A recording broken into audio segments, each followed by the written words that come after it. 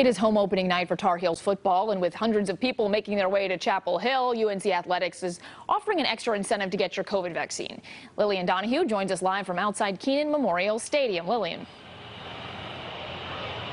Good evening, guys. Well, people have been pouring in here for hours, but right where I'm standing across from this entrance behind me, they've actually been giving out COVID-19 vaccines. So far, 35 people have gotten their shot tonight. For this home opener, UNC Athletics and Campus Health Services are working together to offer free COVID-19 vaccines with a football twist.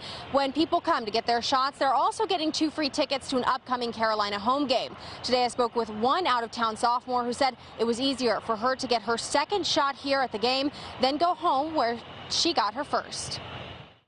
It's actually really amazing. It's so convenient, especially since how far I am from Chapel Hill. Uh, having this here, it's a big relief to get it off my chest to uh, be vaccinated, fully vaccinated now. Well, organizers of the vaccination tent said they are looking at doing this in the future. They're going to look at how effective this was today, and they're open to doing it at future games or large events on campus. Reporting live from Chapel Hill, Lillian Donahue, CBS 17 News. All right, thanks, Lillian.